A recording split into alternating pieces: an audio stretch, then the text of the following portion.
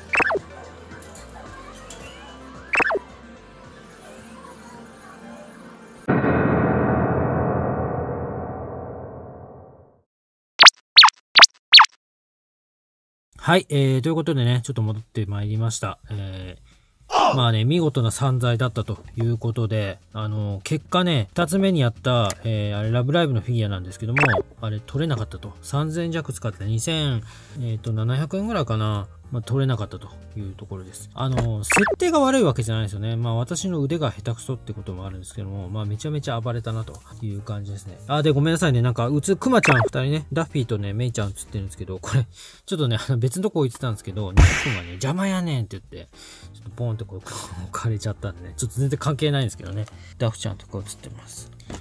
わーってね、可愛いんですよね。ちょっと全然関係ないんですけど。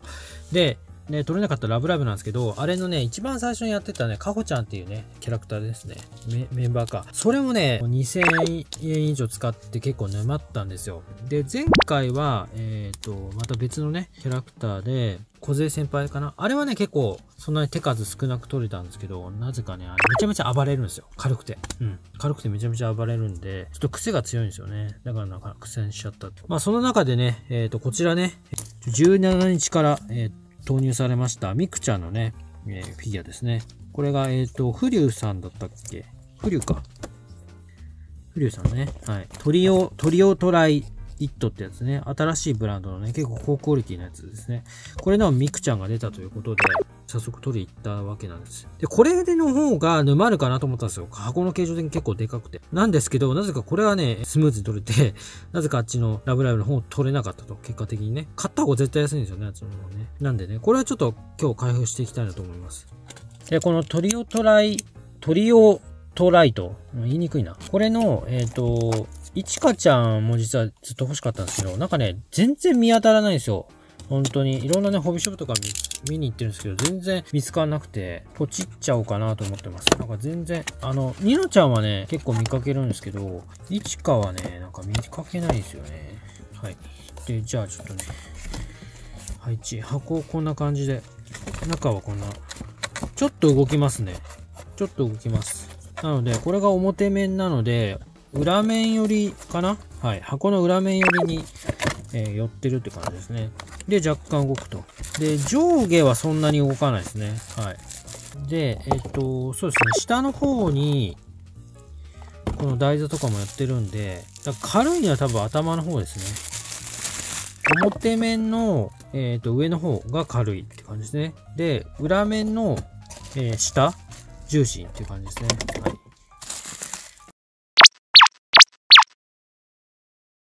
はい、じゃあ見ていきましょう。ああ、いいっすね。確かに。クオリティ高いっすね。顔ね、表情いいっすね。ちょっと伝わりにくいかもしれんのですが、結構出来がいいですね。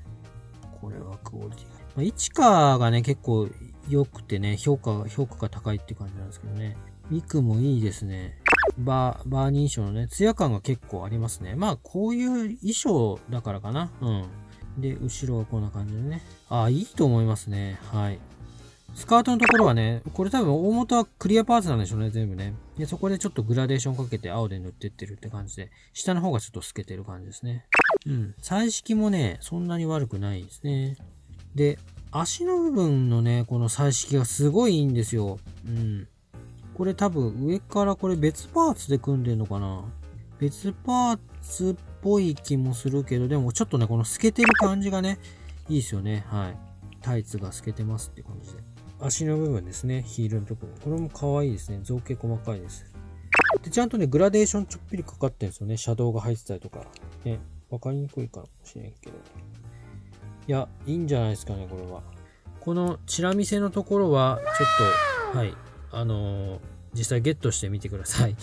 毎度おなじみですが。いや、クオリティ高いですね。うん。このブランドすごい評価が高いって聞いてたんですけど、いや、いいと思います。でサイズ感もね、結構でかいんですよね。一番くじと同等か、うん、それぐらいかな？同じぐらいかなってとこですね。で、えっと、これね、えっと、実は別パーツで、これね、うさ耳ついてるんですよね。はい。で、うさ耳を、このね、頭のところのね、このカチューシャのところにね、穴が開いてるんで、これに刺していくからですね。てか、これ、うさ耳なくても全然いいっすね。俺、うさ耳つけなくていいかな。なんか、うさ耳あると、この分、かさ増しされちゃうからね、高さがね。結構こんな感じで。あ、いいっすかわいい。これいいな、すごいな。ね。で、台座が、えー、こんな感じですね。ミクって入った感じです。はい。で、台座にか立てかけてこんな感じですね。いや、いいっすね。はい。全体的にクオリティ高いと思います。まあ、これをね、1000円前後とかで取ったら全然お得でしょうって感じですね。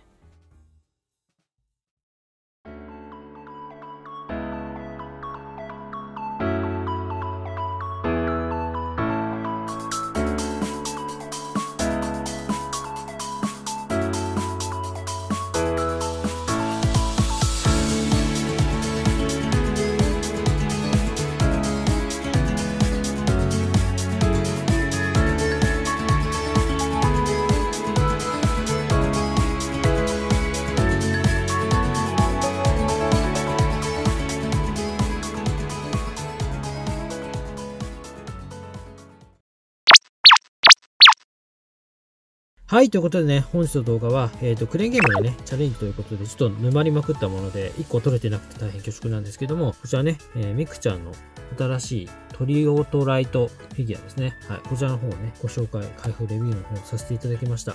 気になった方はね、ぜひまだ投入されたばかりなのでね、取りに行ってみていただければなと思います。はい、えー、本日の動画は以上となります。最後までご視聴ありがとうございました。まだチャンネル登録お済みない方はチャンネル登録と高評価、コメント、そして各種 SNS のフォローにね、メンバーシップ登録の方よろしくお願いいたします。それでは次回の動画でまたお会いしましょう。またねーバイバーイ。バイバーイ。